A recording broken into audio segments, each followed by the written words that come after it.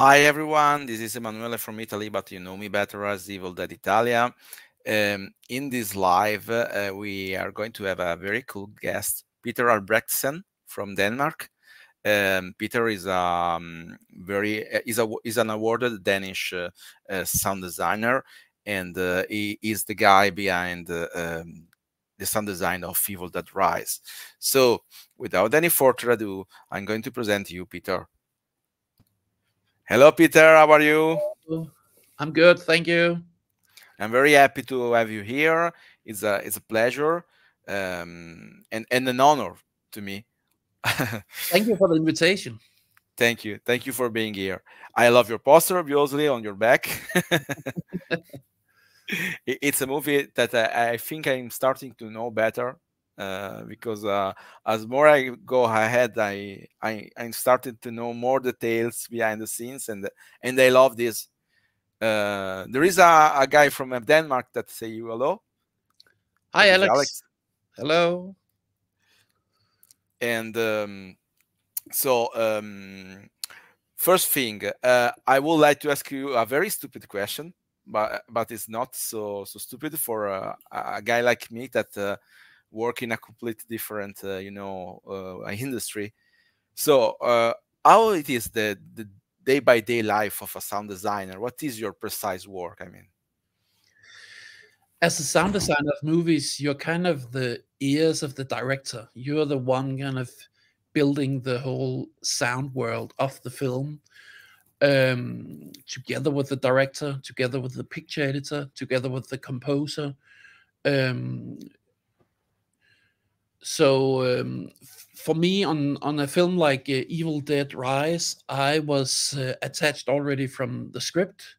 So uh, Lee Cronin reached out to me, and I got to read the script, and it was really inspiring. So I already at that point I start collecting sounds because I read the script and I get a lot of ideas, and then they go uh, shoot the film, and then when the picture editing starts, then I start doing sound as well. And um, um, as a sound designer, in a way, you're kind of bringing the sonic visions of the director to life. And for someone like Lee Cronin, who was the director of Evil Dead Rise, he had so many ideas about how the sound should be. It was very inspiring, um, really amazing for a sound designer to get to to really feel that the director has so many ideas. So then it's my job to kind of make all those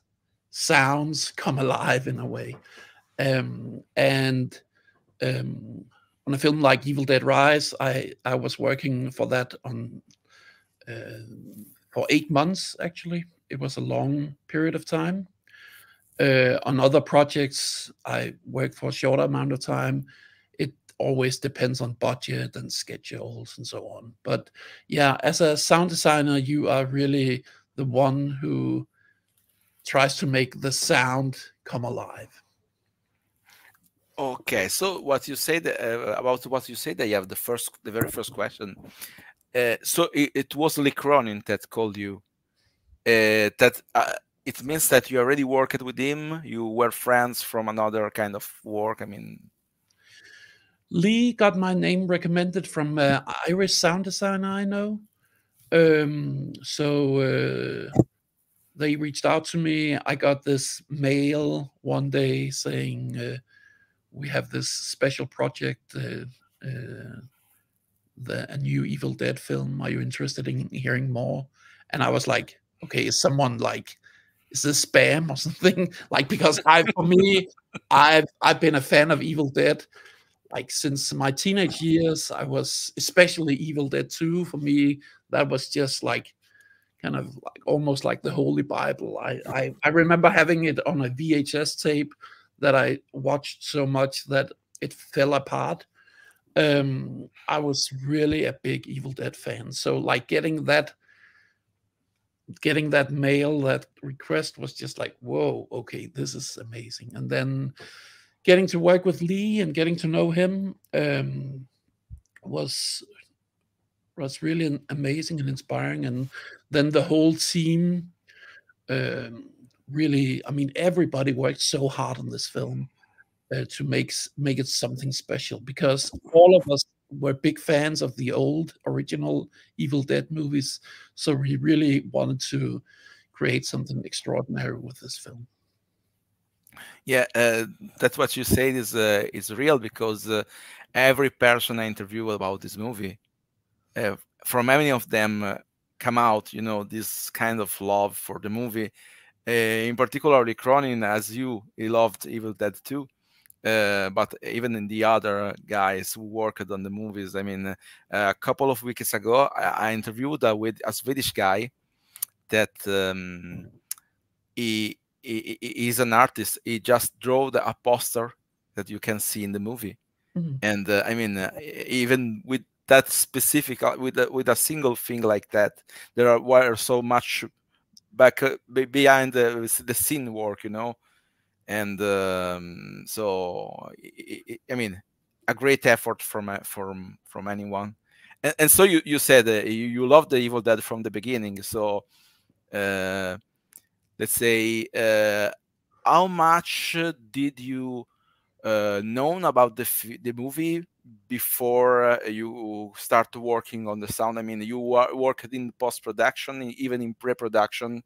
Uh, how this work? I mean, uh, how is your work uh, started? I I got the script. I got Lee's script before they started shooting, so that we could start talking about some ideas and I could also talk with the production sound mixer. Uh, the film was shot in New Zealand, so um, um, like just discussing some ideas with Lee about like all the all the many many ideas that he had for sound in the script, and then also just trying to find out okay is there something specific that we need from the shoot? Um, is there something we need to take care of? And then um, then yeah, from from when they stopped shooting, or actually even before they finished shooting, I was already working on it. Um, right now, I'm sitting in my studio in Copenhagen, and this is where I started doing the first sketches. Uh, I think the um, the elevator scene uh, with the um, uh, where Ellie gets possessed the first time that's kind of like the first one of the first sequences that I started to work on, and I did that in this very room. Oh, okay. So uh, another question: Did you ever uh, did you ever visit the New Zealand for this specific work, or you work uh, from your uh, studio there in Denmark? They started doing the picture edit in New Zealand, and I never went to New Zealand. Uh, I did um, the first work I did, I did here in Copenhagen, and then when uh, Lee and the picture editor moved to Ireland, I also moved to Ireland. So we were doing a lot of the work in Dublin. And then when we were mixing the film, then because we were mixing in this um, new sound format called Dolby Atmos, um, then uh, we couldn't mix in Ireland because there weren't any mix stages in Ireland that were um, that had Dolby Atmos. So we actually mixed here in Copenhagen again. So we went back to Copenhagen for the final mix.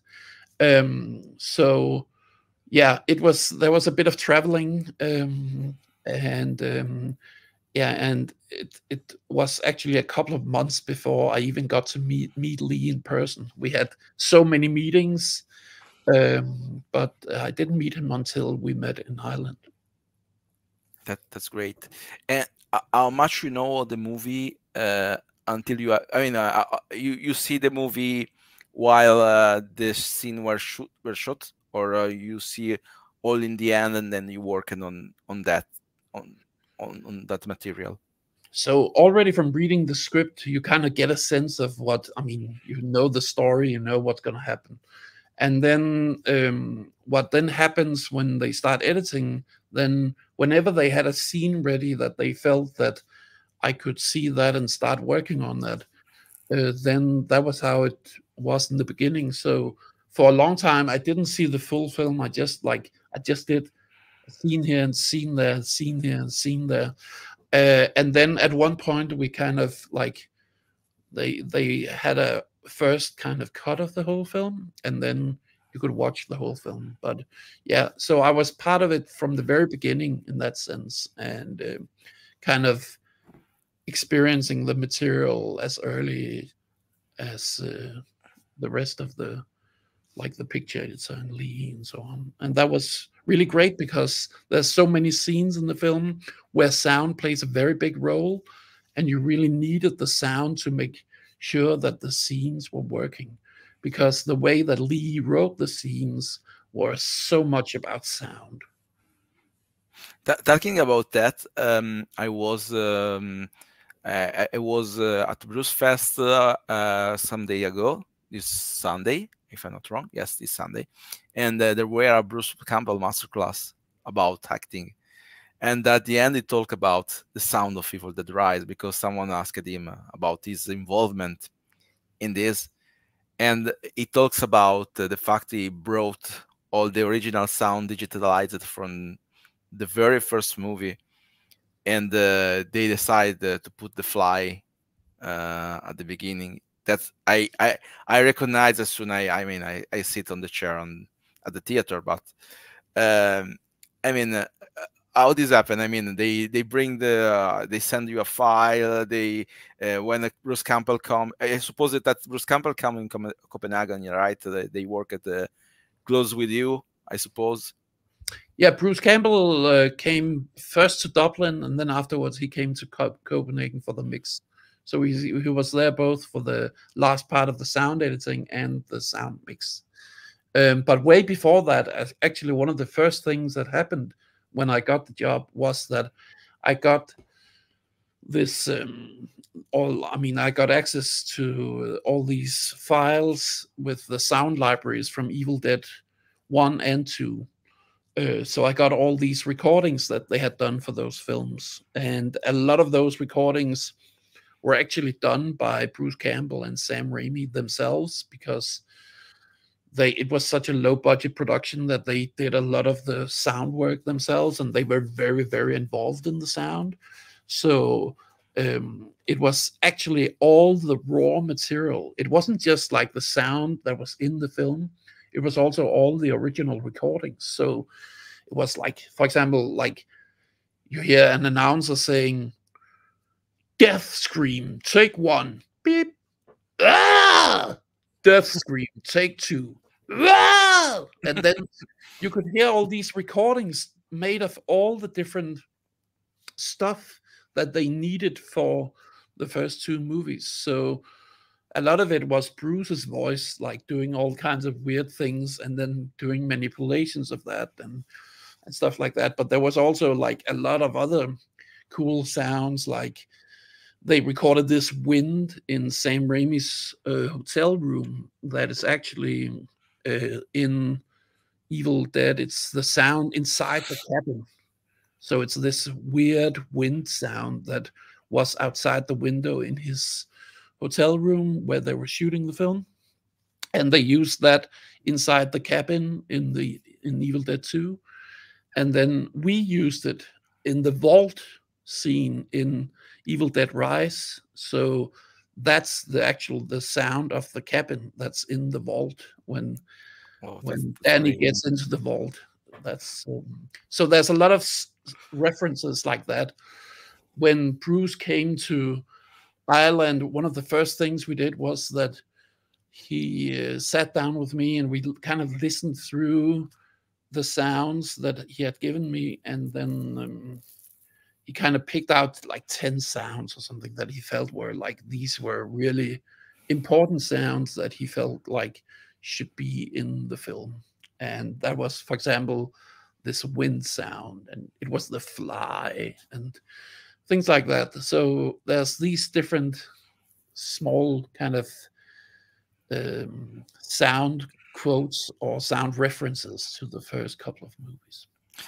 I, I have a technical question. I mean, those sounds were recorded with some very old devices, I suppose. Uh, how can they be digitalized in a cool way? I mean, uh, maintaining a good quality. I mean, uh, it's uh, they they have a good quality, I suppose, because if you use them, uh, they need to be very high quality.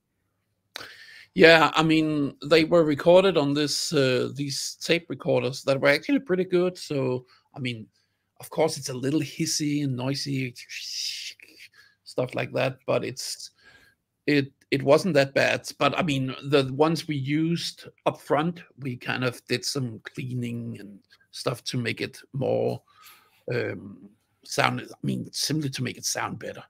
Um, because of course, sound technology has evolved a lot since back then.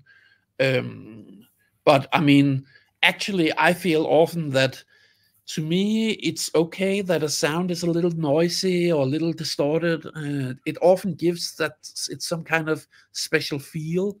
Whereas if everything is like just like very, very clean and has, I mean, just seems too perfect in a way, then it can get so sterile in a way. Like just like it feels like it's lifeless in a way. And I actually much prefer using sounds that have a little grit and a little texture to them.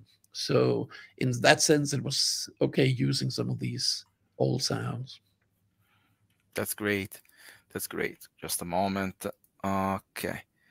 There is uh, there is a video. Uh, I mean, I, I, have a question. So the um, I, I've seen a video you sent to me today because um, uh, Peter um, participated to a documentary video. I mean, I, I think that that is a technical channel, right, about uh, sound sound design, if I'm not wrong.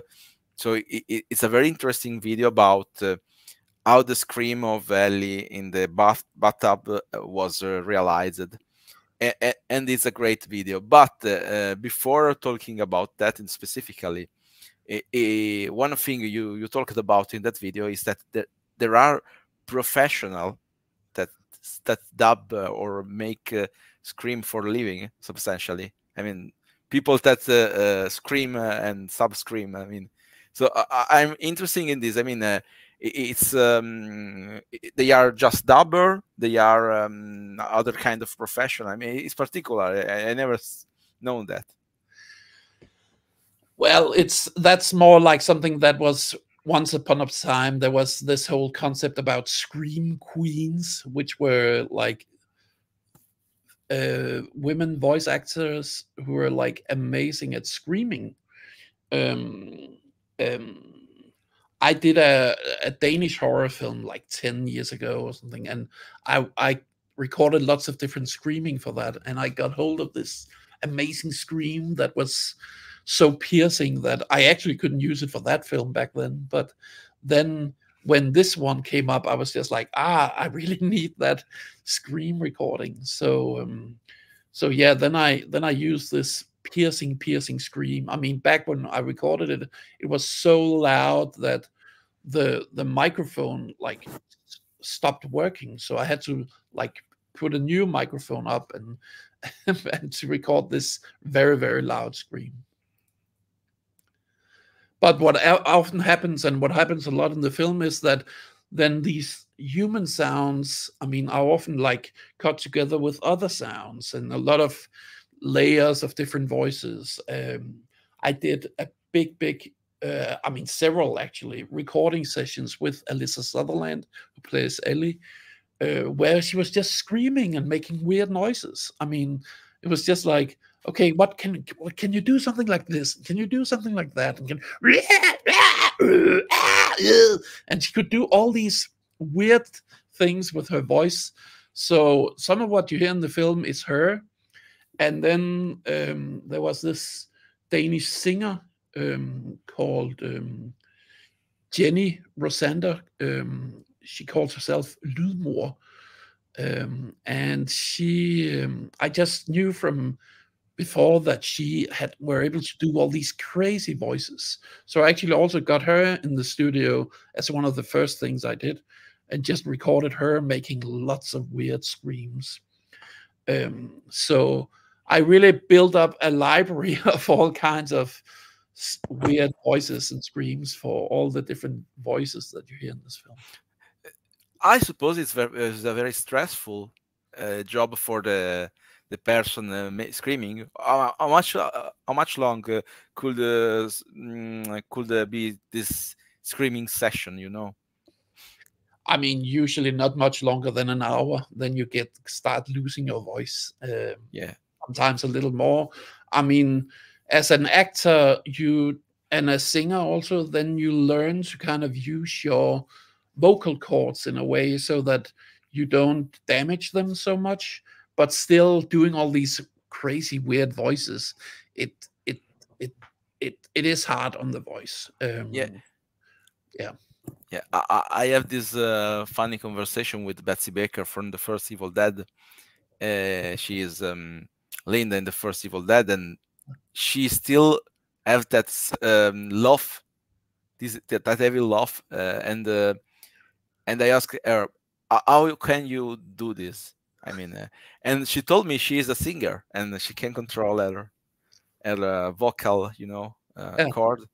So, so I mean, this this make full sense uh, now. You're you are talking to me about that. I mean, you need uh, this kind of, you know, and about your neighbor, I mean, uh, no one send you the police uh, at home when they hear all this screaming, or you have insulated, you know, the space. There were no neighbors and no police coming around, but yeah, there were some pretty crazy sounds. Um, I mean, during the whole process in this film, just so much like really crazy noisy stuff. I mean, yeah. That's great. That's great. Now, so now um, I'm going to show a thing. Uh, just a moment. Uh, uh, uh, uh, so this one, this one you can see here, Evil Dead Rise Sonic Scream Deconstructed. This video I'm going not to play it at all because it's it's long and uh, it, very interesting, but uh, pretty long. And uh, it, it is a technical video about um, the way in which you realized um, the Ellie bathtub scream, and it's a great video. Credit to this uh, in-depth sound design channel. It's it's this uh, it's a video anyone uh, must see. So I'm going to take the, the link and put it on the the, the, the comment section so you uh, every one of you that was is watching this uh, this this live can see this video after um, the live is finished maybe or even when you want i mean in the meantime, uh, there is a, a, a, not just before you go to sleep. Yes, yes, exactly, exactly. and uh, there is this uh, uh, just a moment because I have to find it. I lost the link and the PC does, doesn't help me, so I'm sending it uh, from uh, my my my mail. there is a shorter version of this link, the of this video. Sorry, and uh, so we can talk about that one. It's arriving. Just a moment. Uh, technology is not helpful when you need it, obviously. Okay, I have it. Okay, this is the volume. I can put it full screen and then we can share it. Okay, it's arriving.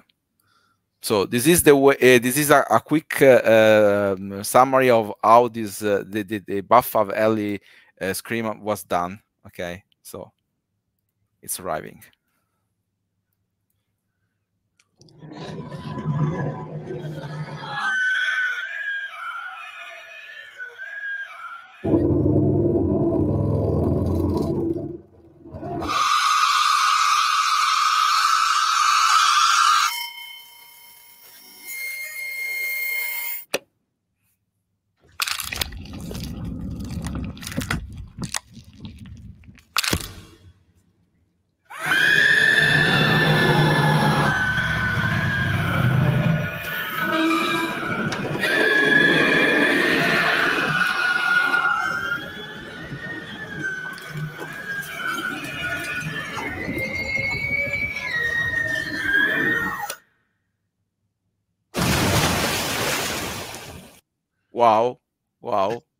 So, so my first question is: uh, This is how sound your uh, coffee machine? I mean, it's it's a nightmare.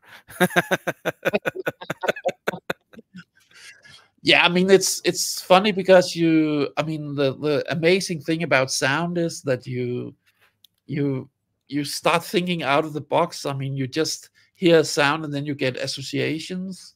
And instead of kind of using maybe the the real sound and in this in evil dead rise there's nothing that's real in that sense. You have to kind of make it feel real but that's something very different. And then i just get, got all these associations. So uh, for example the coffee machine it just had this i was looking for something that was wet.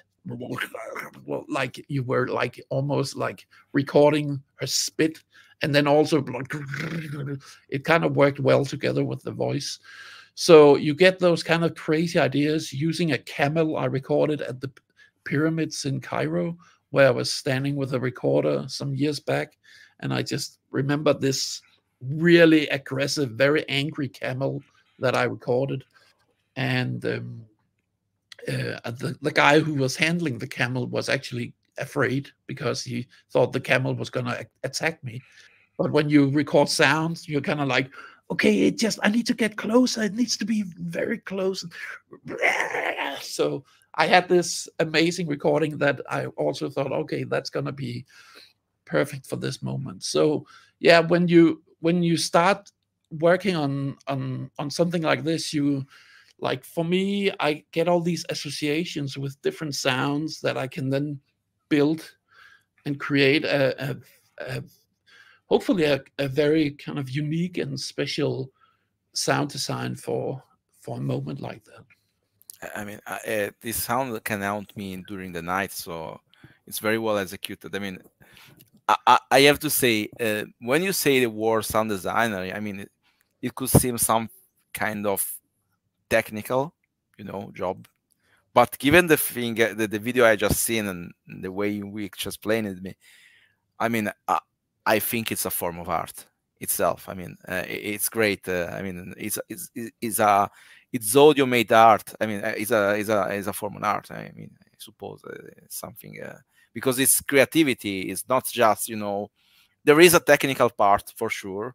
Maybe it's the less funny. I don't know or maybe it's the funniest one depending on how much you are keen on technologies but it's a form of art, of art i suppose it i mean i think sound design for movies is like very much an art form for sure.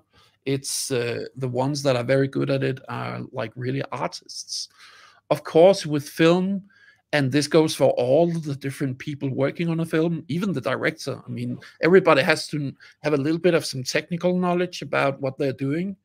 But when it comes to like creating like the the storytelling and creating some unique experience with like cinematography or picture editing or music or sound then it is an art form. And I think especially on on something like Evil Dead Rise, where you need to create so many special sounds, so many unique sounds, and so many uh, scenes that are just like based around the sound, then sound really is a very, very, very big part of the film.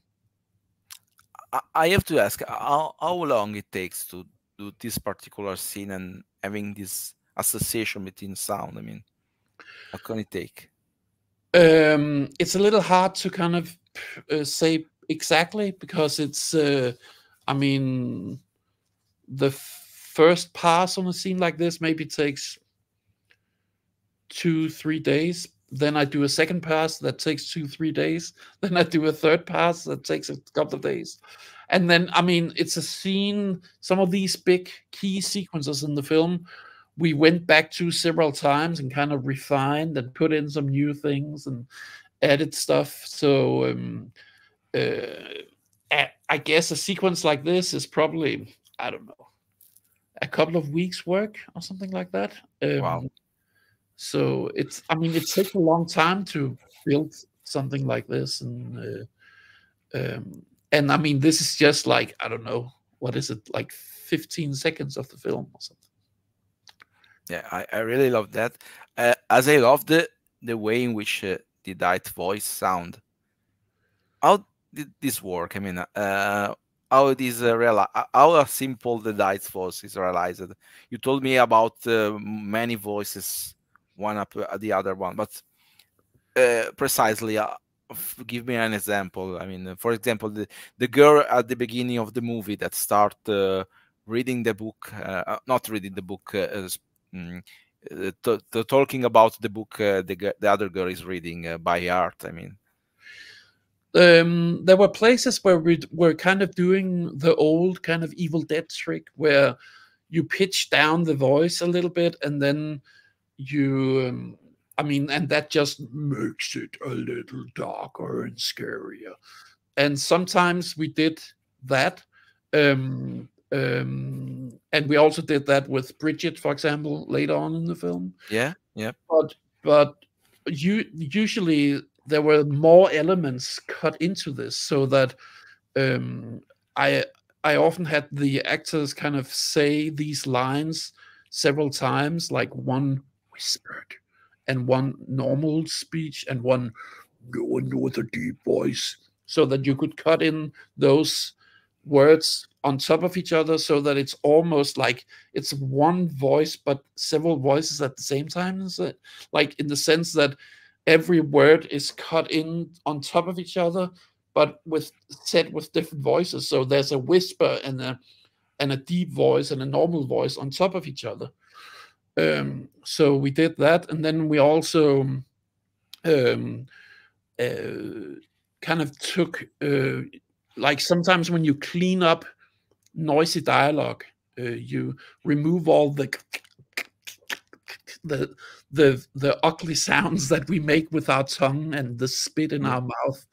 We remove that when we clean up the dialogue.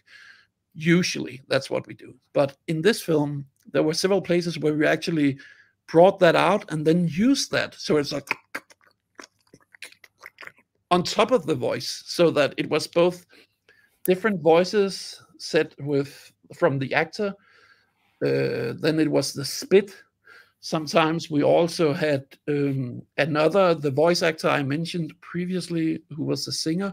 She also did a whispered version of something, or maybe a little bit of a scream. And then maybe also cutting in like breaths or sounds from from uh, animals that had kind of a little bit of the same feeling like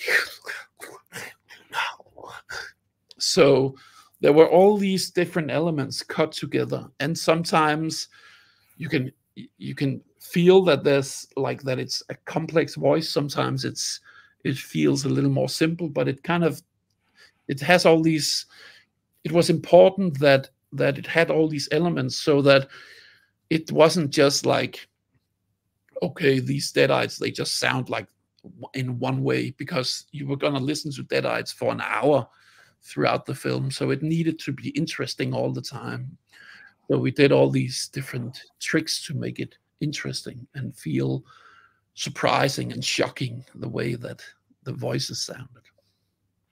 That, that that's great. And does any actor have a a very uh, a voice uh, that is uh, uh, very adapt this kind of uh, rework? Or um, i mean they just act in a standard way and it, it's just sound design magic let's say. I mean they have a voice. There are there any actors that can do a very mm, horrible voice or with some kind of you know tone that seems already a monster without I think all the actors in the film actually did a lot of really amazing sounds for the I mean with their voices. They really tried out different things.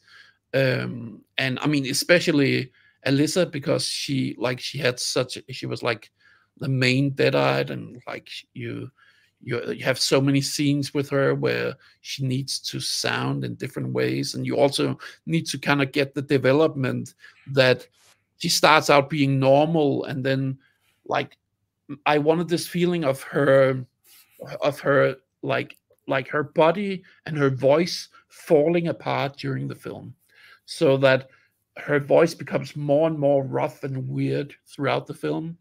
And we also made all these like we made all these sounds of like of her her movements and they become more and more evident throughout the film so that every time she moves she has all these sounds that are like like if her body was falling apart and you could hear the bones breaking inside Yeah, of yeah. body. So in that sense, it's it's all these different sounds that then play together. That that's great. I had uh, interviewed Mark Mitchinson, that uh, was um, Mr. Fonda in the movie, but uh, he was even the guy that uh, read the uh, vinyl voice. I mean, he was the Father Littleton uh, voice. And uh, after I discovered that, in in effect, I can recognize his voice, but he told me substantially uh, the re- the recording happens online, right? I mean, uh, no, not in person. So I have another technical question about this. What kind of uh, tools you use? Because uh, usual, uh, usual, uh, you know, video conference tools have very low quality uh, audio. So so what we do is that um, I mean for a film like this where the actors were all over the world, we couldn't. I mean we couldn't. Uh, we couldn't ourselves kind of fly out to all the different studios around the world. I mean, there were people in the US, there were people in Australia, there were like there was one in Africa, there was I mean, it was all around the the, the world. So what you then do, then you hire like you rent a studio in this location where the actor is placed. And in that studio, they have a, a what is called a Pro Tools system, which is the, the system that we use for all the sound work. So they set this up and they record in that studio um, in uh, in their computer in I mean of, in very high quality, and then we are connected through. You can then connect online to the Pro Tools session so that we can sit in another country and you can look at what is coming in and you can hear the signal directly from the recording. So then you can kind of comment immediately and talk with the actor actress. Um, and that's actually uh, pretty amazing that you can do this. That's something that's been invented during the last 10, 15 years. Ah, that's great. That's great. I mean, uh, technology is very helpful. Yeah, absolutely. For something like this, it was amazing. Also because there was so much. I mean, they did a very good job recording sound on the set, but we also did a lot of extra voices and especially a lot of breathing. I mean, a lot of, lot of, lot of breathing. Um, so just a, I mean, all these things that that really make you feel like you're close to the characters. Um, and it's all often all these small breaths and stuff that really make you believe that you're there. So, so sorry. Uh, one of uh, your uh, typical day was uh, connecting to your PC and uh, having a direct conversation with a, a single actor, uh, or there are even more more actors in the same you know take. No, it was one at one. You do one actor at a time because you kind of need to do. I mean, it's so much work just going through the film with one actor, and then I mean, because there was a lot of recordings, then some of the recordings I did, some of the recordings my dialogue editor did because at some point it was also like some uh, like there was one actor who was in Australia. There's like a 12 hour time difference to Europe where we were. oh, So I we know. had, to sit in the, middle- we had to sit in the middle of the night. I mean, th- three o'clock in the night, sitting doing ADR for like be, being able to record with someone during the day. So yeah, there was all these practical issues, but um, but yeah, so it was a lot of work, but it was really worth it. That that's great. That's great. And uh, talking about the vinyl, um, I mean, uh, uh, so you took the voice of Mark Mitchinson, and then you worked out the sound of the vinyl by yourself. You uh, make the sound dear tear, dear tear, uh, or stuff like that. I, I mean, how long this is a simple process? Uh, is a standard thing, or it's even even that needs some uh, trickery? Let's say. it was i mean that was a very very complicated sequence with a lot of layers and um, um, so the first recording of him was done during the shoot actually. So we used that for the early sketches and then when we got further into uh, the sound work then we did a couple of sessions again where we recorded new elements for the priest. Um, so it was like again something that we went back to and refined and refined. But to create the voice of the vinyl then then we took the that recording and then um, you did all first like also doing this kind of pitch thing where it feels like because it's like played on an old 78 vinyl yeah yeah. then the speed is like going like that so it's like so we did that then we did all these kind of manipulations to making it feel sometimes it's like small and tiny but other times the voice gets really really big so there's all these trickery things that are done, and um, the dialogue mixer and editor Garrett Farrell um, did also. I mean, he just did an amazing job with this. So, but we kept on going back to kind of like playing around with how that voice should sound. okay, so you you, you told about uh, dialogue uh, dialogue uh, what is the, the right word dialogue uh, editor dialogue mixing and dialogue editing yeah okay so that one is the, the classic uh, dubbing you know yeah. What, yeah. yeah so uh, when we're mixing then for this film i think there was i don't know a thousand tracks of sound brought in on two different computers and then you sit in front of a big mixing console and then there was uh, garrett was mixing dialogue and music and there was a, a spanish mixer Gabriel Gutierrez, who was mixing uh, effects and um, Foley. And then we were sitting there next to each other and kind of just like constantly trying out things and building up the whole soundscape from all these sounds that had been made like for seven months. And then, yeah, we were mixing for almost two months. Are you talking of this? Uh, just a moment. Did you sent me a picture? So I suppose this is this is group uh, of person you are talking about but i would like to be to share it because it's a great picture uh, here it is yeah so this is from the mix so what you see there is of course from the from right it's bruce campbell executive producer then it's next to him is garrett who is the dialogue mixer and music mixer and then it's me then it's Lee Cronin, who's the director and scriptwriter. And then it was Gabriel um, from Spain who mixed effects and Foley. And what you see behind us, you can see uh, mixing console, the mixing consoles. There's two mixing consoles, one that Garrett was using and one that Gabriel was using. And we were kind of sitting there and then you sit there looking at you can see that giant screen behind us so that's where we like then watch the film and then you then you work on these two mixing consoles and like every button that you see um, does something with the sound so it's uh, it's a lot of buttons uh, and uh, a lot of fun that, that's great. And uh, you took this photo before starting or at the end of the process? Yeah, they ended the process when we were finished. Then we took this picture, and uh, so if we look a bit tired, then that's that's why. That's great. That's great. Yeah, yeah, yeah. Absolutely. Okay, that's great. And um, have you some memory of the best moment, and even of the the worst one. I mean, uh, there will there should be something uh, easier or funniest to do, and something more less less funny sometimes. I mean, it's work, so it happens, no.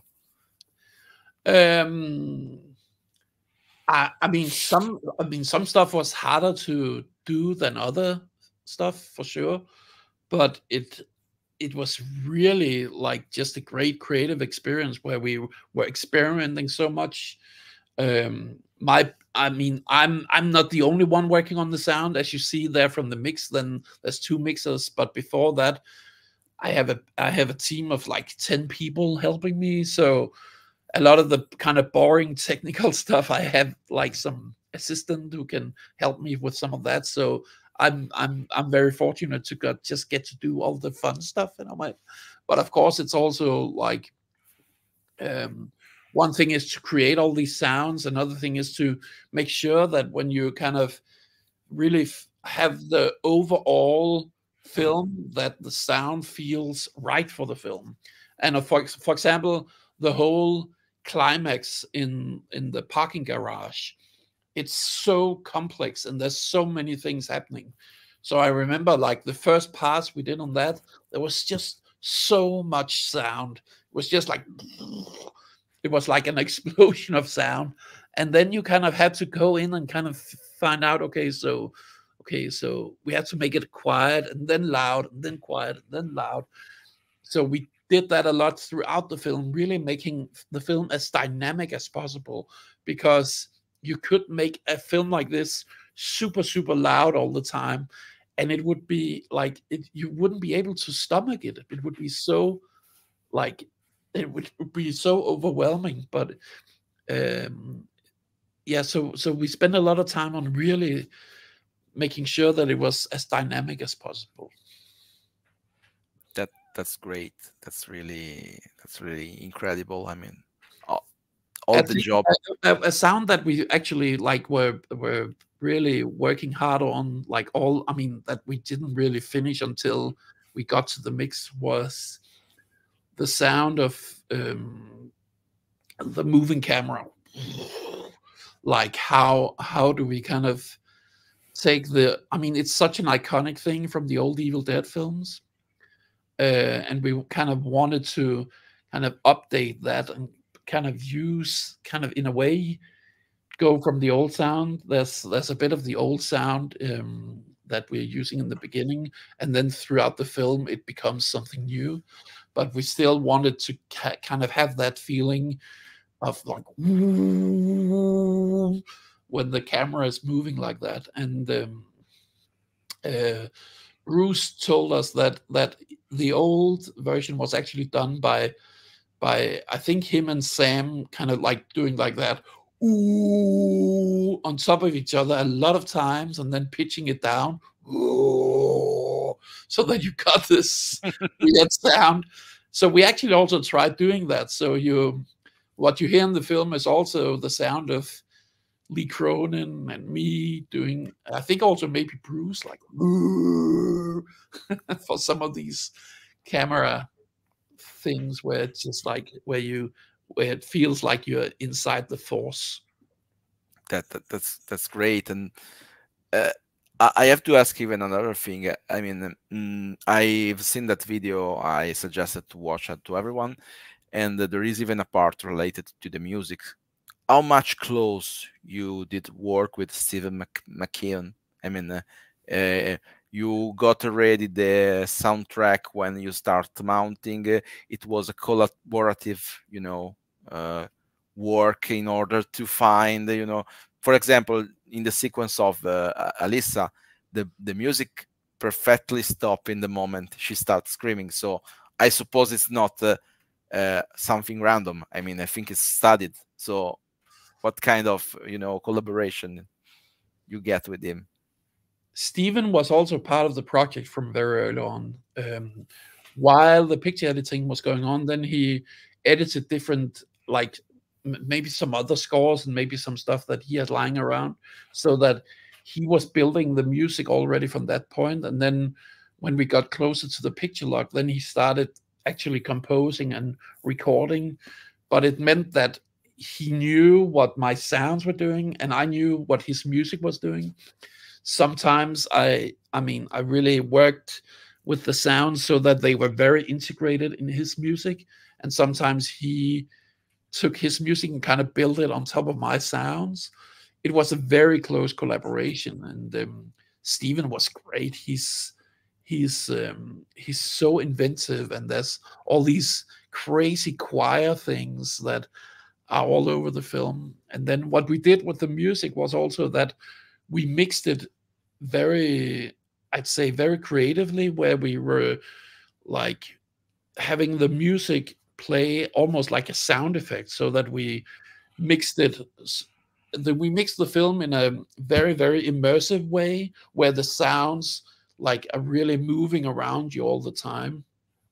And we did the same with the music because we got the music was um, recorded with a split up orchestra and that was actually because of covid that they were not allowed to all be in the room at the same time. So they had recorded the orchestra in like different departments and elements so that we had lots and lots of tracks of all the different elements of the orchestra. And we could then split this out and then it could kind of move around us in the uh, when you when when you're in the cinema like and really get the full sound experience of the film then the music is like really enveloping you. And we are also kind of doing things with the music where where like for example when for the scene just before the bathtub scream where where Ellie comes uh, to the bathtub and she's like she's put under the water then we mix the music as as if you're hearing it through the water and then it comes up and plays and whoa, so we do all these things and manipulations with the music and steve uh, and stephen mckeon just loved that i mean there was also this moment where bridget just uh, just after the the the cheese grater moment yeah. where where I just felt like okay after that moment we just need it needs to be so intense and evil and then I took Steve Steve's music and then I distorted it like crazy like and when I was playing that for Steven the first time, I was thinking, okay, he's gonna like he's gonna go crazy. Like I, I took all his music and just really distorted it. But Steven just loved it. He was so excited. This is punk rock. This is great.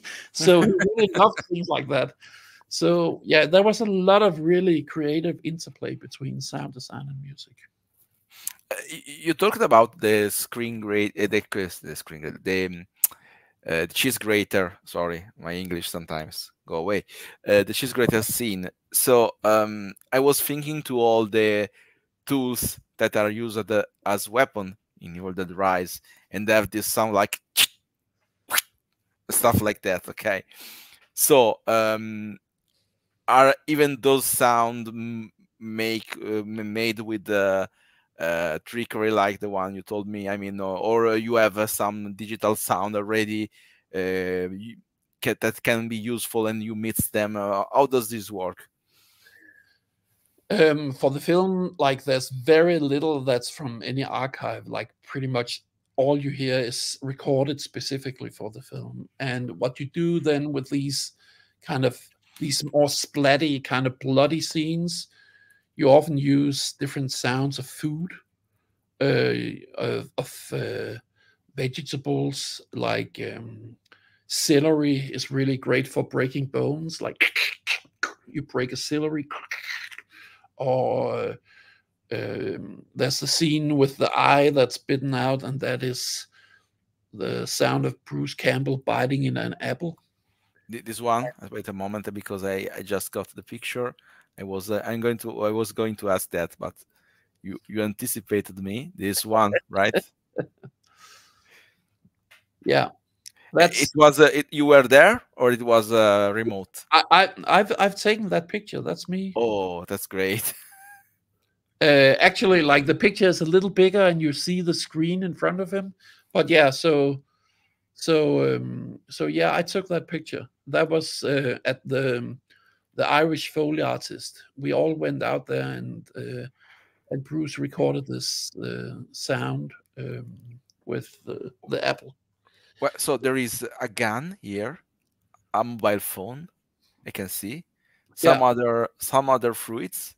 So it's all all of these Foley props. So it's all kind of it's like all of that is fake. Like, of course, the fruits are, are not are, are, right, but like for example, the gun that's like a that's like a, a like a theater piece or a fake gun, you know. Yeah, yeah, yeah, absolutely. So all this stuff is using to to create sounds Yeah, exactly. Wow. It's it's it should be very funny and even complex. I mean, yeah, the, you. I mean, we record so many sounds uh, for everything you see in the film. We kind of recorded a specific sound for that. Um, and uh, and and for the eye scene, I mean, uh, th- that was recorded specifically for that, or after uh, Bruce recorded this, uh, you found the appropriate way to use it. No, no, Bruce recorded this for the scene with the eye. Ah, okay, okay.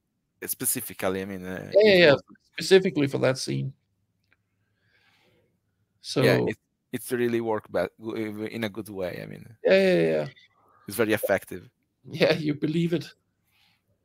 It feels very, very disgusting, and it's just him biting an apple. Yeah, yeah, yeah. I, I, I have this book. Hopefully, it's not uh, eaten by my background. Practical Art of Motion Picture Sound, and uh, I got this one because um, uh, something like uh, four years ago, I wrote an essay for um, mm, Italian audience about the Evil Dead uh, franchise, and I would like to go deeper. I, I like uh, this kind of you know material, going deeper and like the conversation with you. I mean, it's for me, it's gold. It's a it's a gold mine, you know. And um, there is a, an interview with Bruce Campbell. Wait a moment, because I have to find that. There is a there is a piece in which uh, he describe he describe uh, the way in which they they uh, I don't obviously I don't found it um, the way in which they recorded the sound for the first Evil Dead. There is a, a part in which they talk about the fact uh, they used the uh, chicken meat to mm-hmm. make the sounds. Yeah. And at the end of the recordings, I, I will find it. At the, at the end of the recording, um, what happened is uh, that the the the room in which they recorded was very stinky. I mean, it's, it's uh, just a moment because if I found a, a, a, an excerpt, I would like to share it with you because it's uh, it's it's it's so it was so fun, but I don't found. Uh, here it is, nine. Okay, it was the first pages. I remember something like that. But yeah, uh, Bruce is Bruce is very passionate about sound. He really um, he's he's been helping Sam Raimi on several of his other films also with the sound. And he um, really knows all the details of what you can do with the sound. So um, he was great. Um, so um, like having a director like lee cronin was amazing. And then having bruce there as well was really fun. Yeah yeah yeah. Well i don't found the part because i uh, i have the i had to to find it before calling you and not be, and not during the live. However, it it was pretty it was pretty it was pretty fun uh, to read that uh, that kind of stuff. That uh, bring me another thing in mind uh, of the thing you were talking about before. The fact that uh, um, every actor uh, rea um, reacts some of the scenes or the or their voices. So, how much of their the original voices took during the um, the, the the, the effective the, the real filming are used or the actors does the actors dub their self because I, I live in a, in a country sadly uh, my country is famous because uh, uh, substantially we don't see original language movies but we have our dubber and every film, every movie in the theater is in Italian. And uh, if you want to see original language, but like I would, I would love to, you need a DVD, a Blu-ray, or a streaming stuff. So, uh, how does this work for the original movie? I mean, they they dub themselves, or uh, you can use even their original voice from the the shoot. Um, some of it is from the shoot, some of it is dubbed. I I think um, I don't know. It's it's in a film like this. I think uh, maybe a third of it is dubbed, and then two thirds are stuff that's recorded. But um, also sometimes you just use tiny parts of something when you dub, and maybe just a word or something that you need. Um, so, I mean, sometimes you dub because you need to uh, clear something that's where there's a bit of noise on top of the dialogue, but it could also be a new line that you need to add or something like that. But yeah, in a film like this, there's quite a lot of ADR, as it's called, automated dialogue replacement. Like so, it's um, it's quite a lot of dubbing that's going on in a film like this. But yeah, I know that uh, in some territories, then they dub the whole film. Did you watch the film in Italian? uh, sadly, it was my it was my first uh, occasion in which I watched the movie because I have a sad story. There was a, a premiere of the movie in London with uh, Mr. Lee Cronin attending at the premiere, and I took the, a ticket, but uh, I didn't have my passport renewed in time for watching it in English before it came out. Okay. So I gifted my um, fun story. I gifted my uh, my ticket to another guy that live in Manchester, and uh, uh, the the fun stuff even is is even that during the the the, the, the movie uh, was projected in front of in, the, the place in which I should be have been in the place behind there is an actor from Stranger Things then watching the movie. So I, I mean it was a very unlucky situation but I watched the, the first the, the, first time the movie in Italian. Then I have to wait something like uh, a couple of months to rewatch it. As soon it come out in digital, I got it and rewatch it in original language, obviously, because I, I, am a purist. Yeah. Now now that I can talk English, uh, I prefer watch it in original. You know. I hope it was still scary in Italian. Yep, yep. They did a good work they did a good work, but you know, um, sometimes the voice, the voices are different. I mean, yeah. um, they're they're, they're the pitch of the voice, you know. Uh, yeah, yeah. And you cannot enjoy Bruce Campbell uh, talking in the, the, the vinyl, you know, uh, in Italian version. I mean, there is no uh, no clue uh, he was talking there, so it, it, it's a shame. I mean uh, it's a shame even because uh, in Italy it, it's even harder to learn English if you are not uh, mm, you you have not yours I don't know uh, an idea you would like to to learn it. I mean, I started to learn English because when I was a child, uh, I I, I, I buy I bought video games for the Game Boy and uh, there were uh, English instruction, you know, English booklet. So you need to understand how they work. But that's how it started. But uh, it, it's harder for us. I mean, I see in Portugal, for example, they they they have a movie subbed but not dubbed. For example, you can see the ah, movie in the theater in okay. original you have to see in original language yeah, yeah, yeah. I mean, yeah here in denmark all all of the films are in original language so we yeah. get used to films that are like a lot of english and so on so that's also helpful with the language of course yeah yeah absolutely yeah it's a it's a nightmare for for us it, learning english if you, you want to learn english you have to have a, a big effort it's not yeah. natural and Okay, so we talked a lot about Evil Dead Rise, but uh, I, I, wasn't not a very cool uh, uh, presenter because I didn't ask you uh, about your previous job and your future project, the one that can be disclosed, obviously. Can you see something about what are you working on or you worked in the past that you are very proud of? Oh, um, I'm I'm I'm very privileged to get to work with a lot of filmmakers who are really really into sound and who really wants to use sound in a very creative way.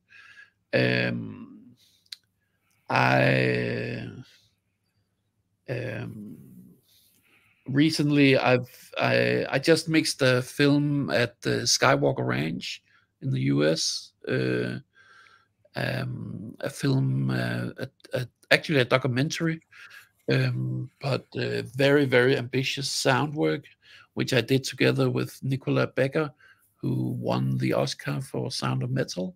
the sound of sound of metal. Um, so uh, yeah, that was a fun job. Um, right now, I'm I'm working on a, I mean, several different projects. I'm you're not allowed. I mean, I'm not allowed to say that Absolutely. much. No, no. Um, but when looking back, I mean, some, I mean, there's several projects that I'm very proud of. Uh, I mean, it's, it's you. I put I put so much effort into every project that I work on, but it was actually fun um, when we did the when there was the world premiere of Evil Dead Rise at South by Southwest, like almost a year ago, actually, a little more than a year ago. Yeah, yeah, yeah. Yes. Back when just before that, it was there was the Oscars, and I did the sound for a film called A House Made of Splinters, a Danish film, which was nominated.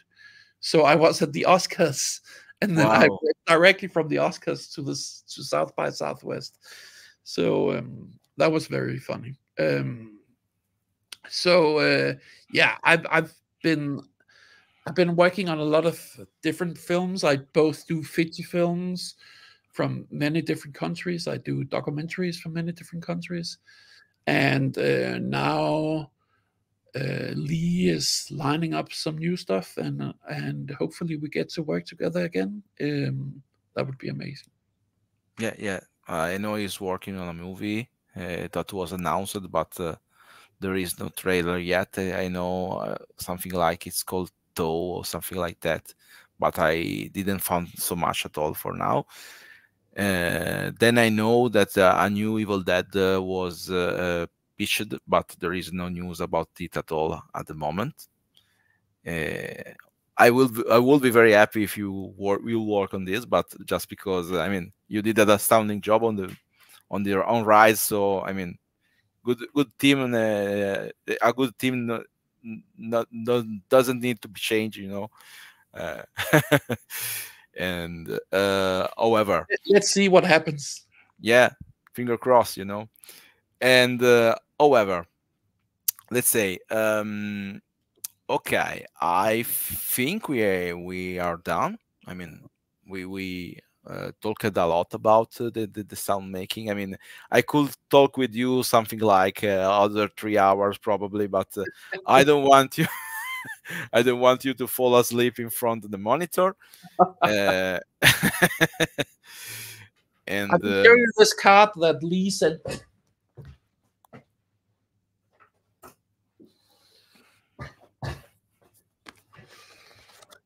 So I don't know. So he sent me this card. Wow! Wow! That's uh, great. That's great. It's lovely and I love even the the marauder uh, on the on the back. Exactly. Exactly. Pro probably, probably, I'm going to interview soon this the the the um, uh, um, the concept artist behind the marauder. Ah, so, cool. So so so so I will know something more about that. Uh, I, I interviewed the guy that make that draw because um, my third live I had a concept artist and a Necronomicon artist from the, the TV show and the movie.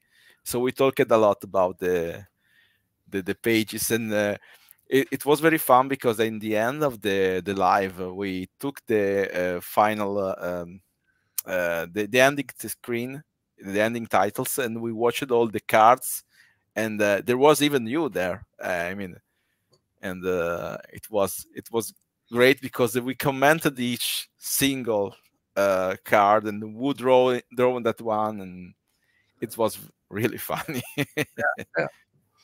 yeah, Lee Lee was the one who. I mean, usually you don't credit the sound people up there. You kind of credit you put them in the end roller, but Lee really wanted me credited up there, so I'm very grateful for that. That was. Well, uh, uh, watching the movie and watching what, mm, what you showed me now, I mean, I think uh, you you had a very pivotal role in. I mean, uh, I mean, in in the the making of this. So, uh, everyone had a. I mean, I interviewed a lot of people that had, had a pivotal role in in this. I had Nick Bassett. I had uh, um, David Garbett. Uh, I mean, every one of them, amazing, you, including you. Uh, I mean, every time you know, uh, I, I, talk with one of you guys that which working on the movie. I can feel you know how much you loved your work and how much effort. Because uh, sometimes it's the thing I, I always tell you know you know when when a movie like Evil Dead Rise come out, uh, it polarizes attention because it's an Evil Dead movie. So there should be someone that told that to tell, oh my god, this this movie is not the original, so I don't want want to watch it, or oh I seen it is a shitty movie or stuff like that, you know. And I really get mad uh, uh, when I see that kind of stuff because they don't know at all how much work and love there is behind a feature film like this everything i mean we are too well you know uh, too well uh, um, it's easy to, to criticize a movie mm. without having seen what is behind it i mean so uh, i mean uh, you, your effort is incredible I mean, I must say that I've never experienced so much positive feedback about anything I worked on, and it's. I mean, I've been getting greetings from all over the world, like both the Evil Dead fans and a lot of colleagues in the film sound business, like just getting, I mean, so many kind words from all over the world. It's been really, really amazing. So for me, like being part of this like franchise that I love so much, and then getting that kind of reaction was amazing. And I mean, at South by Southwest, I got to meet Sam Raimi, and even he, like, he was also saying, "You did a great job, Peter." And for me, that's kind of the greatest compliment you can get. Yeah, I can, uh, I can, uh, I can feel that. I mean, I can feel that. Okay, so now I'm going to sell salute you. Please don't disconnect because I'm going to sell salute you after I close the live. Uh, but for now, the live is over. Uh, every for everyone that watched this one, see you in the next couple of weeks, I'm probably going to have uh, another couple, another uh, cool guest that is uh, Tom Sullivan on the 4th of April. Tom Sullivan is the one that created the very Necronomicon from the first movie, so it's a very cool, cool guest. And uh, I'm going to announce it the, the live soon in the next few days. But in the meanwhile, uh, thank you, Peter, for being here. Uh, it was an honor and very, very cool to know all these behind the scene details. And uh, thank for everyone that's joined it. Goodbye. Thank you, everybody. Bye.